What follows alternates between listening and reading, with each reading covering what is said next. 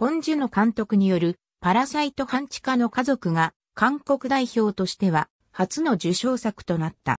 本項目は第92回アカデミー賞国際長編映画賞への各国の出品作の一覧である。映画芸術科学アカデミーは1956年に国際長編映画賞を設立して以来様々な国から最高の作品を招いている。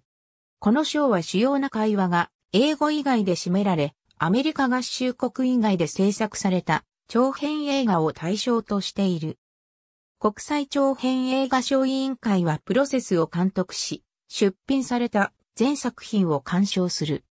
この部門は以前は外国語映画賞と呼ばれていたが、アカデミーが外国語という言葉が時代にそぐわないと考えたために2019年4月に国際長編映画賞へと変更された。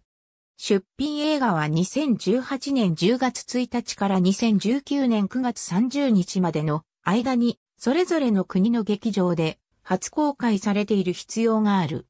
出品は2019年10月1日に締め切られ、10月7日にアカデミーは作品一覧を発表した。今回は94カ国が出品し、そのうち93カ国が資格を得た。今回が初出品となったのは、ガーナ、ナイジェリア、ウズベキスタンの3カ国である。しかしながら2019年11月4日、アカデミーは会話の大部分が英語であることを理由に、ナイジェリアの作品を失格とした。全出品作品から10本が最終選考に選ばれ、2019年12月16日に発表された。2020年1月13日にノミネート5作が発表された。